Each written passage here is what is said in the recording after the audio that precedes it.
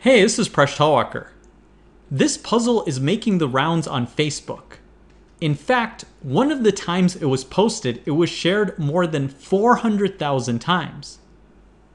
The puzzle is, can you fix the equation 6 plus 4 equals 4 by moving exactly one matchstick? In these puzzles, there are typically some ground rules. You cannot break any of the sticks.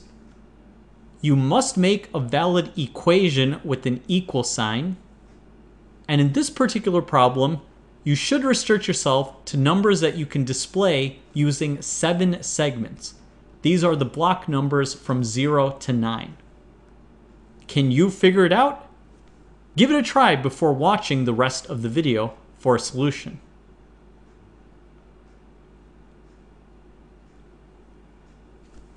So one way you can solve this problem is by making the equation 0 plus 4 equals 4. You take this matchstick and rotate it 90 degrees to make the number 0. So you end up with the valid equation 0 plus 4 equals 4. There's also another solution.